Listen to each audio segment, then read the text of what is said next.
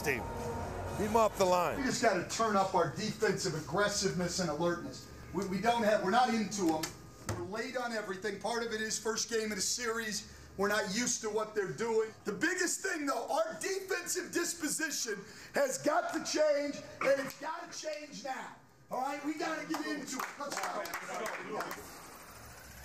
Stan Van Gundy not happy with the Lakers shooting 52% from the field. Part of the reason why they are up 10. Sometimes, though, when you play great defense, you still can't stop the likes of Kobe Bryant. Hi again, everyone, with Mark Jackson and Jeff Van Gundy. Mike Breen on hand. Doris Burke will join us in just a moment. Sometimes Kobe is just magnificent. He did a little bit of everything in that first half, Mark. Well, he certainly did. You talk about setting the tone early, trying to get guys involved. But you talk about in game one, he looked to be aggressive offensively. Time and time again, early on, getting it going, recognizing the mismatches.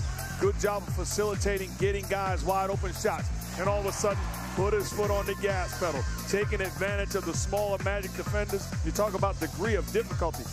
Well defended, contesting. This is good defense by Peter.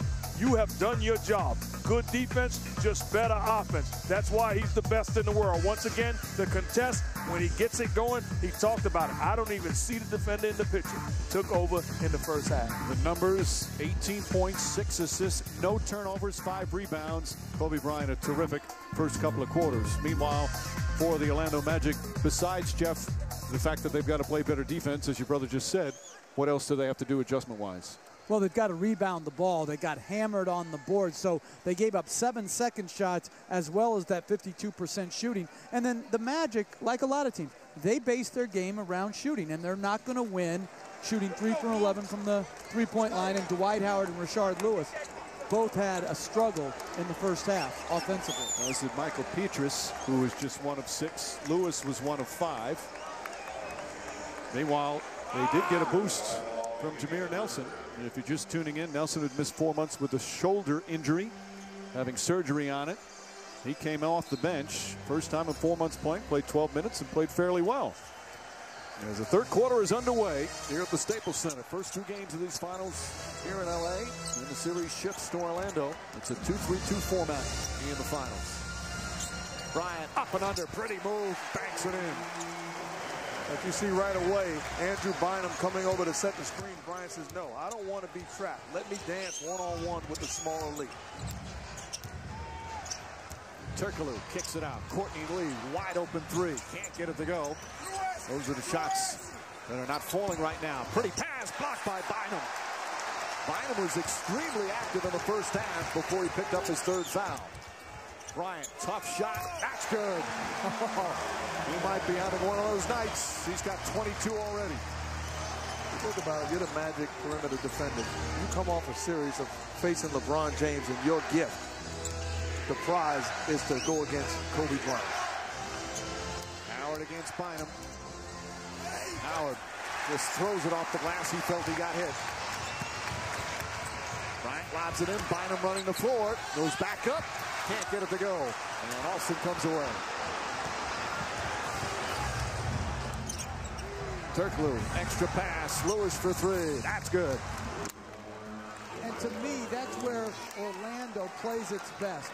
When they, it's not a fast break, Mike. It's more of that semi-transition where they don't allow the size of the Lakers to set. And one of the best three-point shooting teams during the regular season. They had one game this year. They hit 23 threes in one game. That's an NBA record. As Bryant misfires that time. And the key is they have so many different players who can hurt you from downtown. Four guys on the court now. Lewis this time takes it to the basket. Wild shot. They've made some nice drives, but haven't had good finishes as we check in with Doris Burke. Mike, assistant coach Brendan Malone of the Orlando Magic said, listen, our pick and roll defense has got to be better. Kobe Bryant, if he starts to hurt us again like did, he did in the first half, look for us to blitz him a little bit more. They talked about the 36 points in the paint. On the offensive end, they feel like the length of the Lakers is bothering Dwight Howard. They would like Rafer Alston, to Jeff's point a moment ago, Rafer to come in and push the tempo just a bit, guys. Well, Bynum and Gasol present problems, and they bring Odom off the floor. When the Lakers put their mind to playing defense, they can be a good defensive team. And Bynum has just picked up his fourth foul. Kobe Bryant yelling at Danny Crawford. So four on Bynum. When he's been on the floor, he's played well, but just can't stay there as Odom comes in. He's done his job. And this could have gone either way, and that's what Bryant and Bynum they're talking about. Both guys very physical, both guys trying to get to the spot. This is for all the marbles. I say allow them to bang a little bit longer. And I'm going to say this. They're getting no break with Lamar Odom coming in the game. To me, they're much better served when they've got two bigs on the floor than with Lamar Odom. Howard blocked but fouled. It's the offensive rebound. He thought he got fouled on the first one. He's already taken eight free throws. And he'll go back to the line. Third foul on Odom. And you're Dwight Howard. Your job is to attack. Don't look for the referees to bail you out. That's good, hard basketball play by the Lakers. That's a foul. Do your job. Step up and knock down free throws. Odom's trying to say it wasn't on him, that it was on Kobe Bryant. He could have called it on one of three Lakers, but that hurts LA because that's his third. Bryant doesn't have any fouls. As Howard has that one bounce around and go in. Because now with Bynum with four and Odom with three, that's cause for concern. We think about it. Dwight Howard has the ability to get a whole team in foul trouble. And the beating he's taken throughout the year, really amazing. He's played as many games as he has. Shooting 70% from the line in this game, 7 of 10. He's just 1 of 6 from the field, however. 10-point Laker lead. Bryant gets inside. Gasol tips it, keeps it alive. Howard comes away.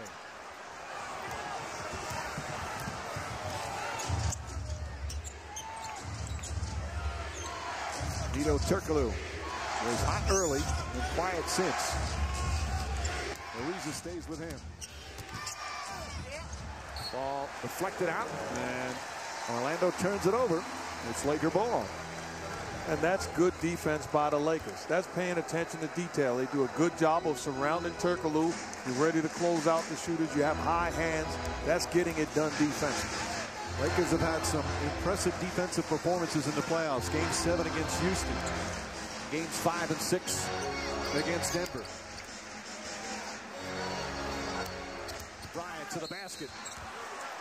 And tripped up. They're going to call it in the act of shooting.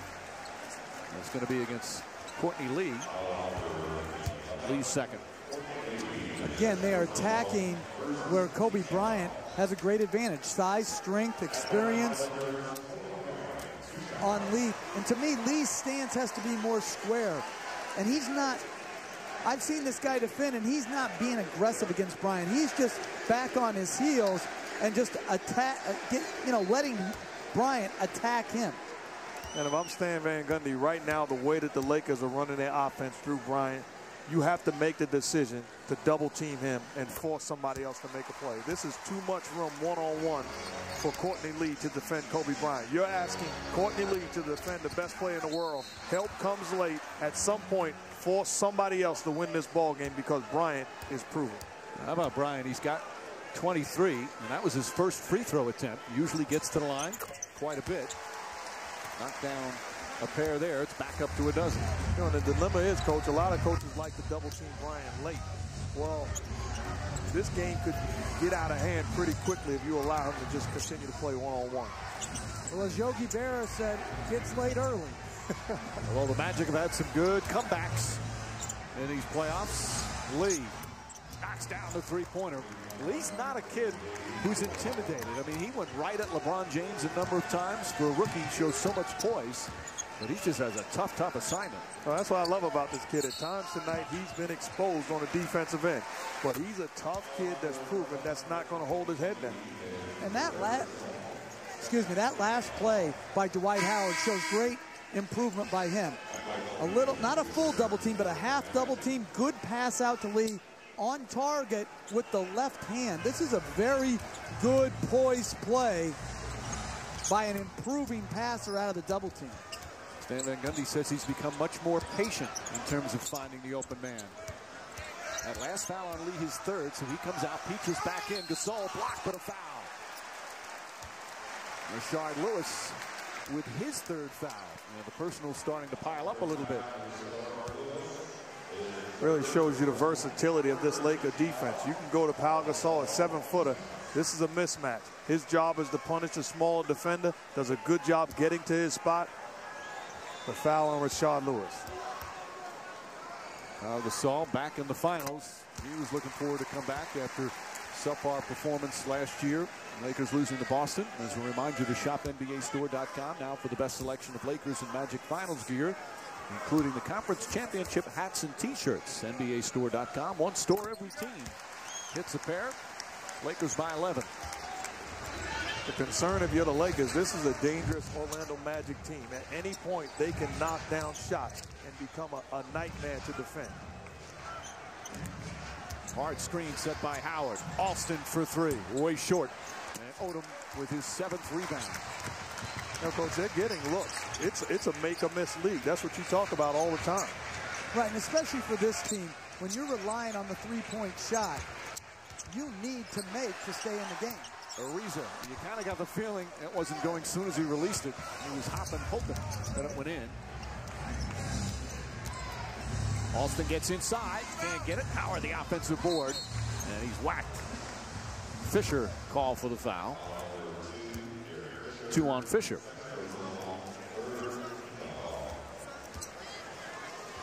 Well, again, good screen by Dwight Howard, and a missed layup is almost like a pass to Dwight Howard because as he rolls to the rim, there's not a perimeter player in the league, minus maybe LeBron James, who can put a body on him and stop him from getting a second shot.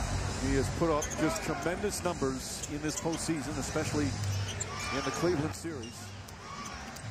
Single coverage, picks it up. Alston wide open for three. And those shots just not going down right now for Orlando. 5 of 16 from three-point range. But another good feed from Dwight Howard out of the post. It's inside-outside basketball. They're getting quality looks. Kobe Bryant hit, count it, and one. 26 for Kobe Bryant and a chance for a three-point play. Well, a very good screen by Gasol. Very good use of the screen by Bryant. Gets to his right hand, and you couldn't see the foul there where he clipped his leg. But that is just, that's just pretty basketball by one great player. So much made of this week. We talk about Kobe Bryant, how desperate he is for another championship. He's lost his last two finals, 2004 to Detroit, and of course last year. One in his first three trips, trying to get that fourth ring. Howard gets it deep. Offensive foul on Howard. That's his third. I don't know. It. I don't know if Gasol gave him room to move. You got to give credit to the bigs for the Los Angeles Lakers. Doing a great job of keeping a body on Dwight Howard. The elbow to the ribs, no question about it. Outstanding job making the call. You're right, Mark.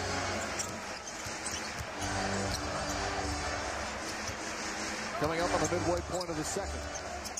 Bryant to Gasol. Inside Odom. Odom hit, put it in, and a foul. And the Lakers starting to blow this one open. It's a 16-point lead.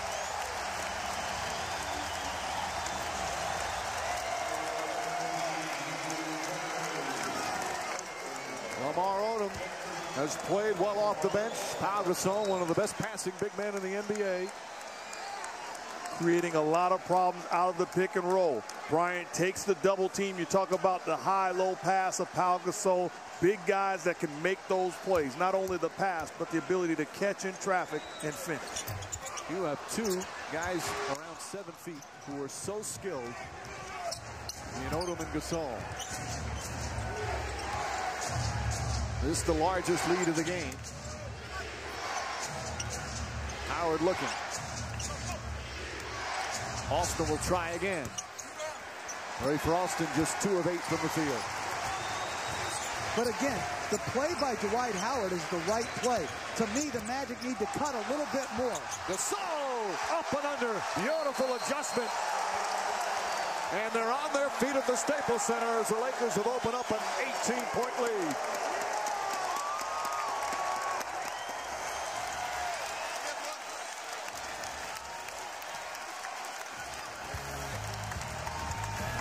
Again, the Bryant pick and roll. Great pocket bounce pass. Late rotation by Rashard Lewis. Great adjustment by Pau Gasol. Nine That's the eye of the tiger, Mike. There's a lot of players that don't even get to the NBA Finals in a career. This is my sixth time here, and I've been fortunate enough to win three so far. This means I've been very lucky.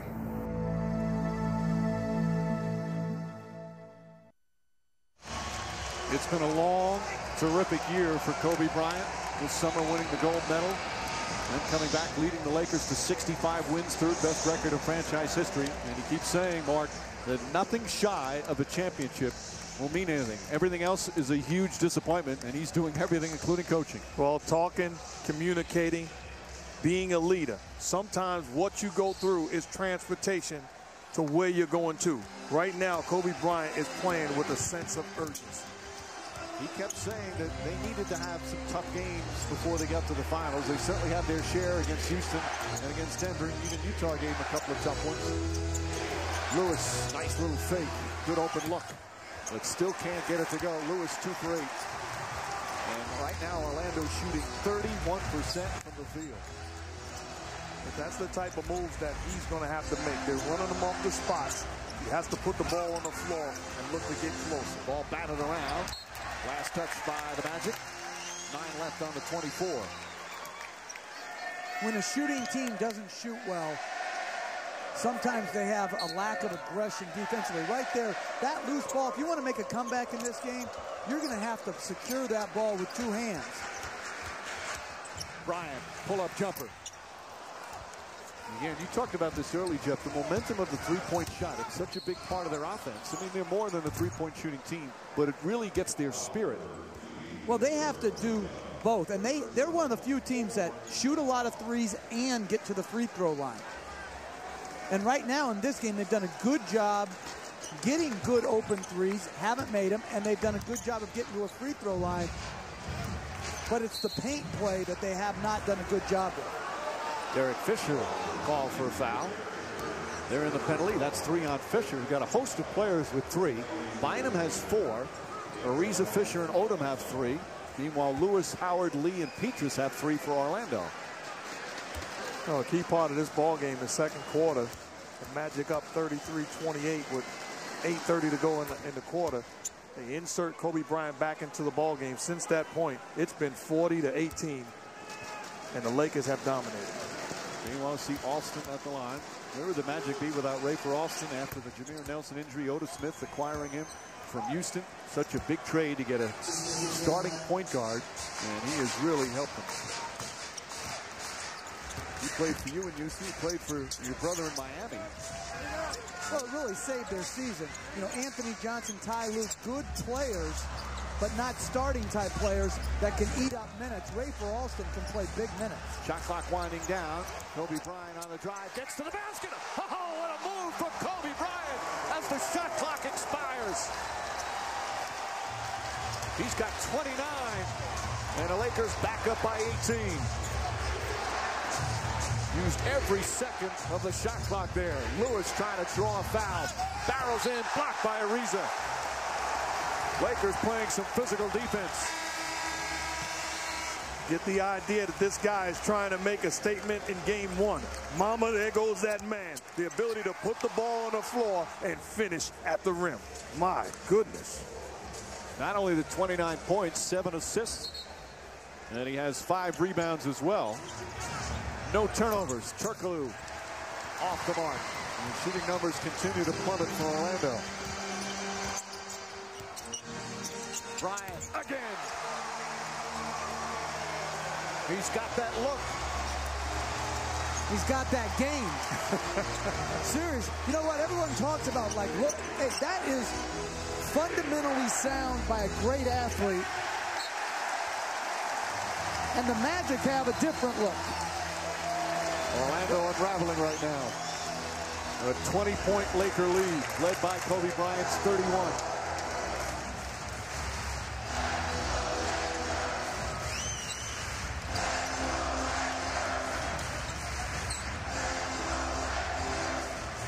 looks up at the shot clock. Couple of fakes. Shot clock at two. He's got to put it up. Tries to bank it. Does so. And a foul. Kobe Bryant, brilliant here in the third quarter, and the Lakers up by 22.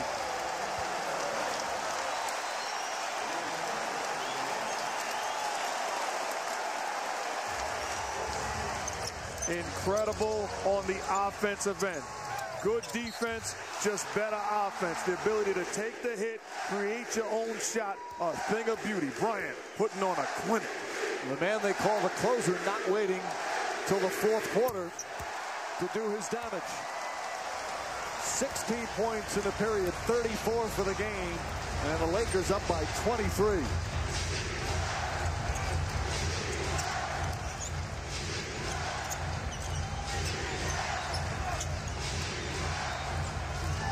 Pietrus fires away. Michael Pietrus nails the three. And Orlando just going to have to slowly try and chip away to get back into it. And this is a team with a three-point weapon. They can get back into ball games, but it's going to have to start with getting stops. As he said, they are the ultimate bounce-back team as Odom fell down. They're so resilient from game to game, sometimes from quarter to quarter. They never get down. Nelson blocked by Gasol. Picked up by Bryant. Turkoglu looks to stop him. Hard foul. Smart play by Turkoglu. And Bryant will go to the line. And we'll have a timeout.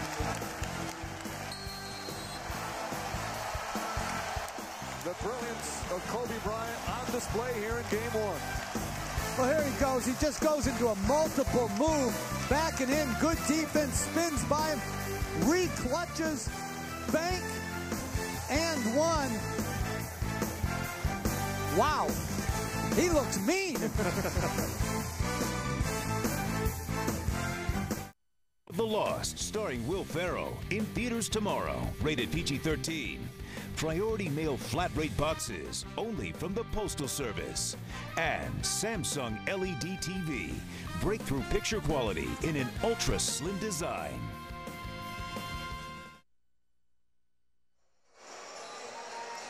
Time for tonight's edition of Gatorade Cooler Talk. Who do you think we're talking about? Talking about the Orlando Magic.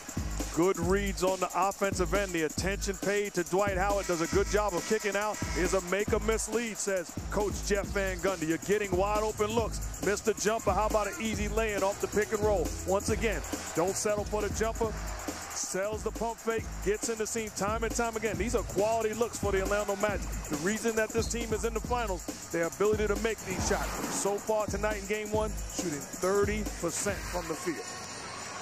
Turkoglu, one of the few early that had it going.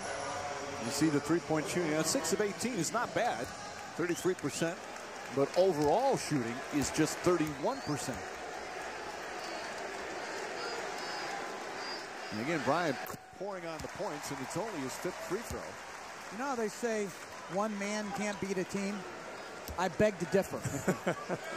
one man can beat a team. This guy has dominated each offensive possession. Think about it. Go back to any possession in this game. Can you name where he was not involved where it turned out to be a positive? Whether he's, you want to call it being on fire in the zone as the look He's unstoppable when he's playing like this. And he's got 36, which is the most he's scored in a finals game. Turkoglu. Shot won't go. Bryant, his seventh rebound. He's on the way to a triple-double. He had a triple-double against the Magic during the regular season. Finds Ariza. Ariza open three. Bang! 25-point lead for the Lakers. But once again, it's off of the play of Bryant taking double teams and making every right decision. That's the eighth assist for Kobe Bryant. Howard down low, got whacked. Although Bryant felt he had a clean play on it, and see they called a foul on. His first foul for Kobe. Goes away from the pick and roll.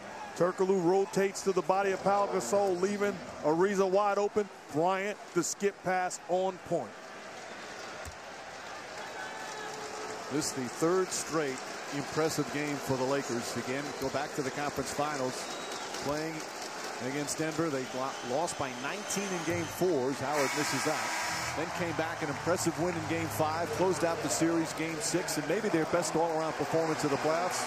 And they followed up with a superb effort here in game one so far. I know it's still the third quarter, but they are in complete control.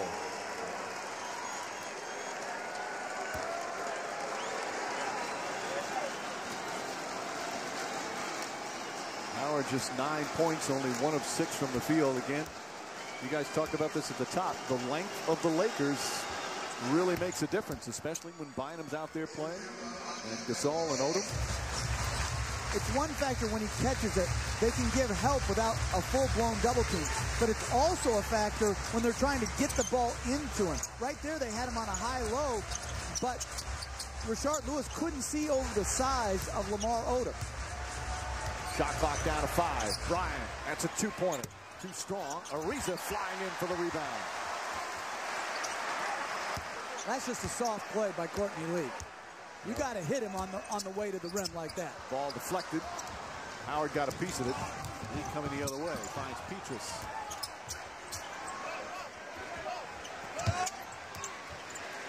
Odom doing a good job fronting.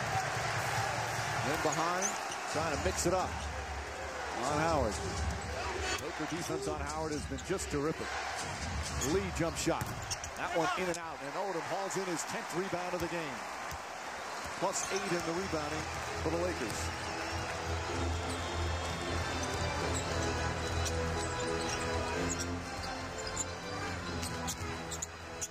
Inside. Off the mark, Gasol right there to clean it up.